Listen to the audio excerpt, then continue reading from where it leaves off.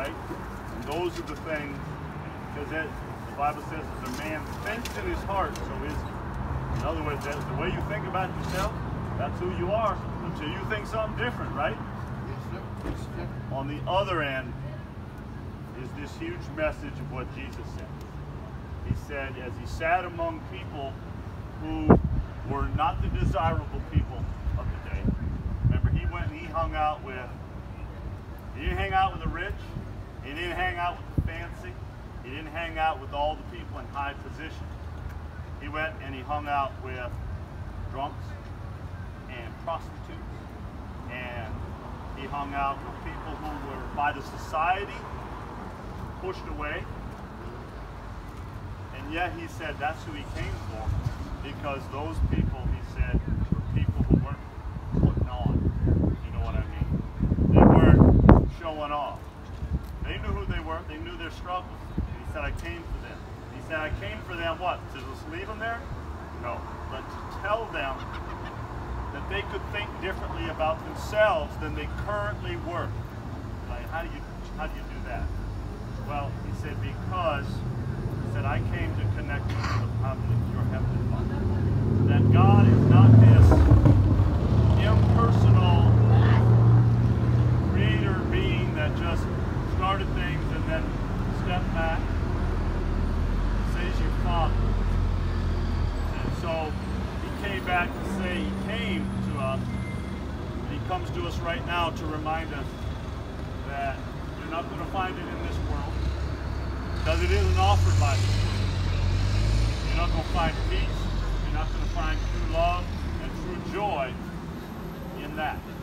You're going to find it in Him. You're going to find it through your Heavenly Father. That He's poured out all of His love on us to, to remind us that there is a way to Him.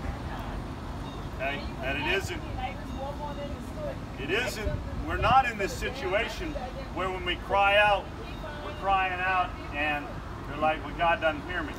No, He hears us because every one of you here are sons and daughters.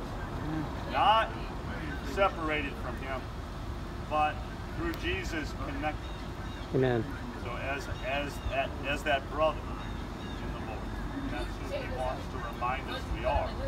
Because the Word says that as a man thinketh in his heart, so is he. But Jesus said, I want you to understand that the Father doesn't just love me, he loves you. He loves us all. And when he say all, brother said right here, what are we here to do today? We're to break bread together. Let me tell you something, you don't just eat with anybody, especially back then, you didn't just, right? You in fact, that's one of the things Jesus got picked at. So look, he's, eat, he's eating with sinners. Like, yes, I am. Because I've come, because I want to show them another. And then he also said we're here to be and we are. It doesn't matter. Man, woman, black, white, it doesn't matter. We're all, we're all belong to him. And he, and he says the same thing in our hearts each time, which is, come to me, all you who are weary and heavy laden. Anybody weary? You know, if you have that, you're weary, you go to him, he says, my burden is light, right? So it's like, I mean, I don't have to stay in this heavy burden heart. No, you don't have to. Because he says, I'll take it. I'll take it from you. So um, uh, tonight, as you get to partake with us and fellowship with us, know that we're also here to bless you in whatever way we can. If, if some of you already know there's clothes here to grab, uh, get a meal, but also know that if you need prayer, we're here. Um, you need to talk to somebody about something you need to, to go on in your life, to go forward, let us know. We are only here one Sunday a month, but that that doesn't mean we won't be able to be in touch with you? We're- trying best we can to get as much as we can to help folks. And not what? Just to help them? No. Help them because we believe that as we love you, you understand that God loves you. Because the last thing I'll share with you is this, and it is also a message to you to go out because Jesus said, How can you say you love God in heaven if you don't love your brother? Right? You can see your brother. You can't see him. So the message for you is if you feel loved today, if you feel appreciated, then please go out and love somebody else. We all walk among people who one day or another are going to run into that spot. Beloved, let's um, bless the food and uh, Warren, you want to bless the food? And we're going to hand out food and get rid of it. Nobody was saying but a few words, please. God gave me this before I got here. There's no time for fast bus, and time for. Understand, my people should perish for lack of knowledge, lack of wisdom. Y'all even though sometimes we lost out sea. So there is hope beyond all hope. This brother to tell you. I've been here five years. I've had to through all kind of things. And I was saved before I got here.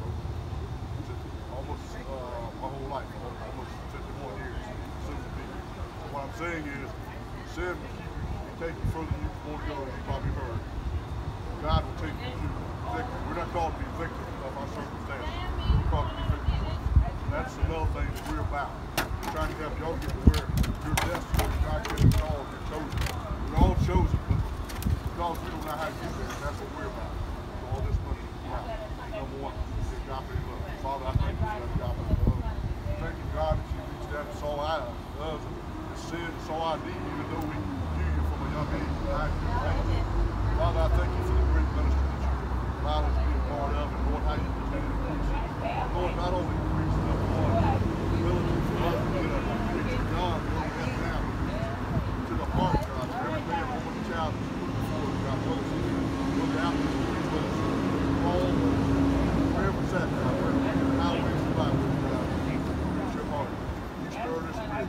minister their mind, heart, soul, body, spirit, and your people God. Said we lift you up now, we give you the highest praise in the name of Yeshua, in the name of Jesus Christ, we pray.